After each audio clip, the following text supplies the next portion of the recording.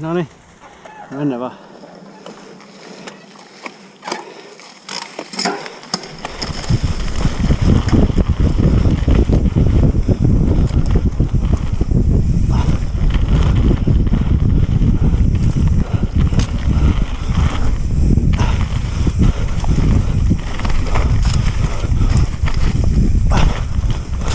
Hui!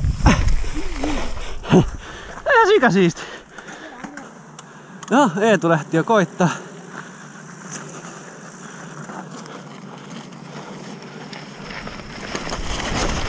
Oho!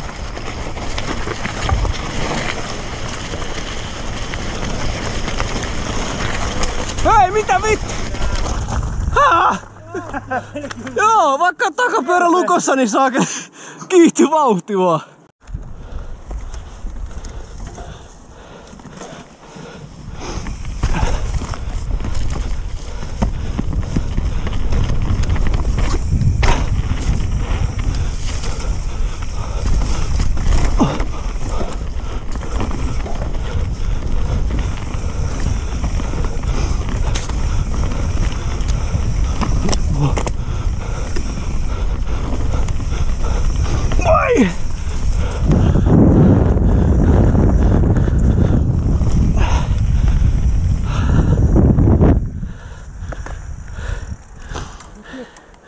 Huh?